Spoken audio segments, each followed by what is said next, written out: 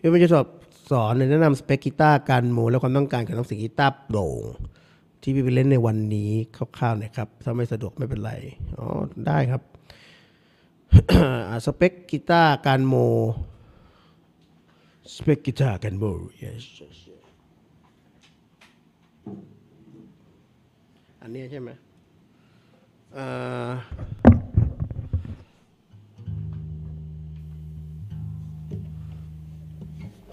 จริง ๆ ไอ้ตัวเนี้ยเสียงมันดีใช่ไหมล่ะ เพราะว่าอะไร เพราะว่ามันเหมาะ มันแมทกับทุกอย่าง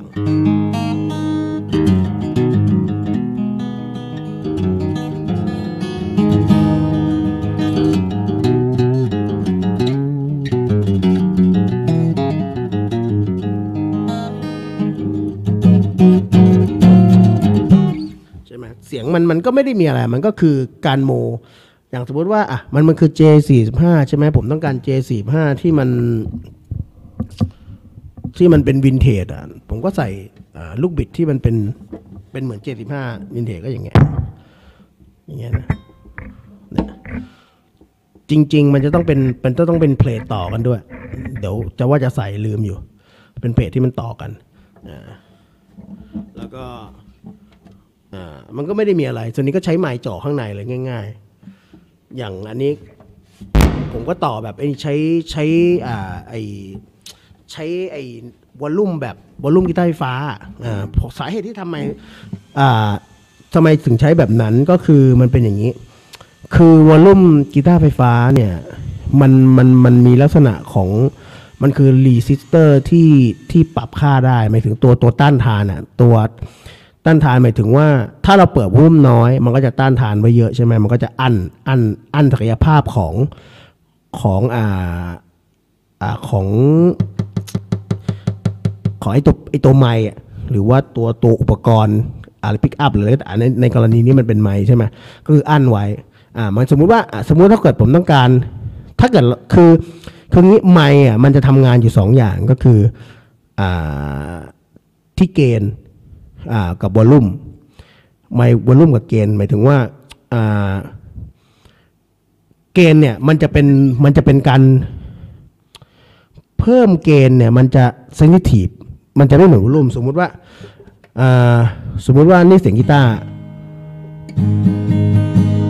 ถ้าผมเพิ่มเกณฑ์ที่ที่ที่มิกนะ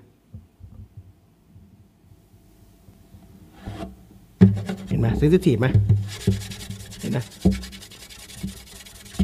เห็นนะถูถูกีตาร์ยังดังเลยนะ แต่ถ้าเกิดผมลดลดเกณฑ์ลง อ่า มันก็เซนซิทีฟน้อย เห็นนะ การเซนซิทีฟก็จะน้อยลง ทีนี้ อะ สมมุติว่าถ้าผม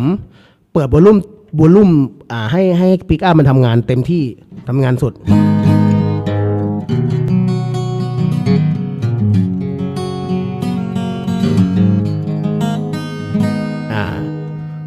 แต่ถ้าเกิดผม ผมอยากให้มันหนาขึ้นกว่านี้ อยากให้มันหนากว่านี้ฉะนั้นผมต้องเพิ่มเกณฑ์ถูกไหมมันจะหนาอะแล้วผมจะเล่น แตกเลยเห็นไหมเห็นไหมพอมันแตกแล้วทำไงอะผมอยากให้มันหนา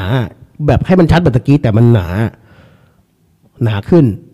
อันนี้มันแตกฉะนั้นวอลลุ่มที่ควบคุมไมค์อยู่ข้างใน มันก็สามารถที่จะลดลงได้ ผมก็ลดลงมา ลดมาครึ่งหนึ่งอะ เพิ่มอีกหน่อยเห็นนะมันก็จะมีความมีความหนา มีความเกณฑ์แบบนัวๆขึ้นอะ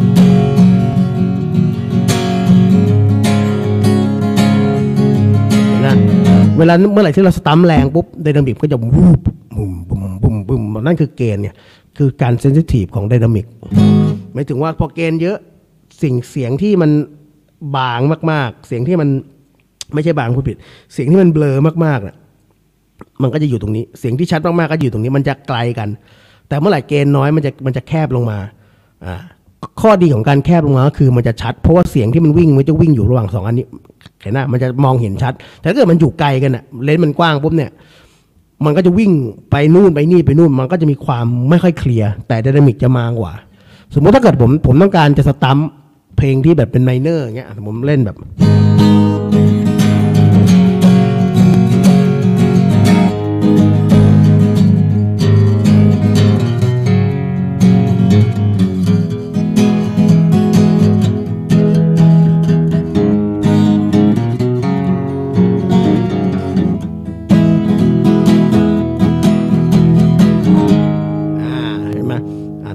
สมมติว่า feel เงี้ยแต่ถ้าเกิดผม ถ้าเกิดผมลด gain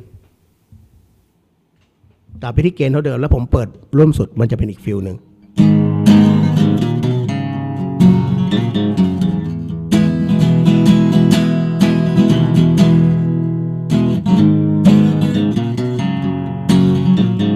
นนะเสียงมันจะเป็นตัวกว่า มันจะมีความ clear กว่า เพราะว่ามันมันเด้งอยู่ มันเด้งอยู่แค่นี้ แล้วก็วิ่งไปวิ่งมาอยู่อยู่อยู่อยู่ใน space แค่นี้ เพราะว่า dynamic มันน้อยอ่า แล้วผมเพิ่มเกณฑ์อีกถ้าบทผมจะเล่นเพลงแบบตะกี้นี้ทีนี้ผมจะผมต้องการมีเกณฑ์ไว้เลย แล้วผมก็ควบคุมที่กีตาร์เอาให้แตกใช่ไหมผมก็ลดลดกันอะลดลดที่ลดที่ใหม่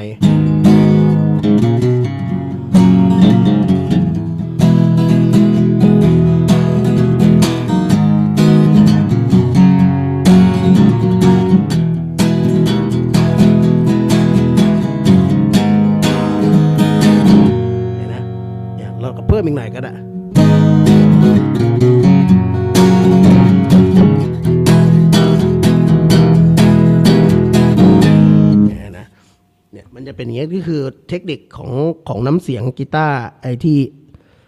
ไอที่ไอไอไอจะตัวตัวเนี้ยมันก็จะเป็น feel อย่างเงี้ยเราก็จะเลือกได้ นี่คือพูดง่ายๆก็คือตัวเนี้ยมันโมมาเพื่ออ่า dynamic เพราะว่าตัวนี้เรา strum อยู่แล้วเมื่อเพื่อ dynamic ฉะนั้นอ่าก็วนมามาที่บอกว่าตอนแรกก็คือกีตาร์โปร่งเนี่ยมันจะใช้อะไรมันอยู่ที่เราเราเลือกใช้อะ ว่าว่าเราจะใช้ยังไงสมมติ setup เนี้ยมันเหมาะกับการสตัมป์ไดนามิกใช่ไหมถ้าผมเล่นเพาะเนี่ยเล่นแบบเห็นนะมันก็เห็นนะมันยังไงมันก็ไม่มันก็ไม่ใสอะมันก็ไม่ไม่เคลียร์ใส มันก็จะมัวมัวอยู่ ฉะนั้นกีตาร์มันมันเหมาะกับแบบนี้ปุ๊บเราก็ใส่ภาคไฟฟ้าที่มันนัวแบบเนี้ยอ่าเพื่อที่จะที่สอบรับความเป็นมันดันความเป็นมันให้มากที่สุด Hey, hey, mine, mine. Rock and roll can never die เห็นไหมเวลาผมเล่นผมก็จะเล่นเพลงอย่างเงี้ย เล่นเพลงสตัม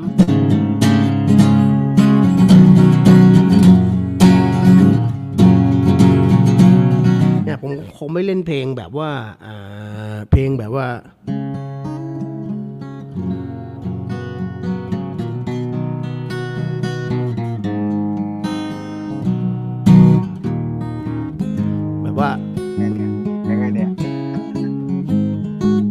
อะไรเงี้ย What's that อะไรเงี้ยผมก็คงไม่เล่นอ่าในนี้คือมันคือแนวแนวแนวทางการโม หรือว่า modify หรือว่าการจูนเสียงอะไรก็แล้วแต่เขาจะเรียกว่าอะไรก็อันนี้คือสำหรับกีตาร์ตัวนี้เนี่ยที่ปัดว่าไงคให้รับผมผมเปล่าครับ ผมอยากบอกว่า มันถูกแล้วนะว่าการที่จะโมกีตาร์สักตัวหนึ่งมันเราต้องเข้าใจบุคลิก บุคลิกของตัวเองก่อนที่จะไปเล่นอะไร อืมอืมอ่านนึกออกไหมอ่า ว่าเรา strum คอร์ดหรือเราจะเล่น picking finger อืมอืมนะฮะแค่นั้นเองครับแค่นั้นผมมาเสริมเฉยๆครับ โอ้โห เป็นคำเสริมที่สุดยอดมากครับตัวมือนะครับเพื่อนๆถ้าไม่ได้เจ๊ไฝคงจะแย่นะครับวันนี้